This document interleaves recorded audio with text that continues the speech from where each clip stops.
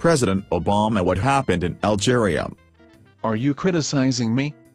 Are you saying my weak and aimless foreign policy contributed to this?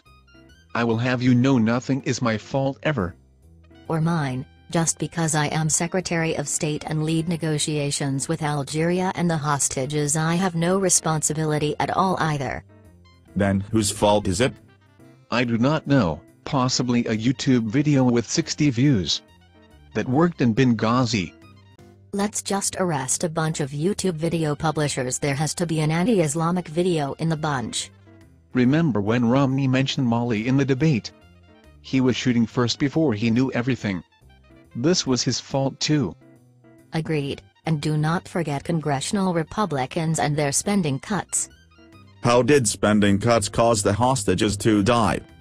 Who the hell knows but I am sure the media will be able to piece it together. I better call Andrea Mitchell and get the blame out.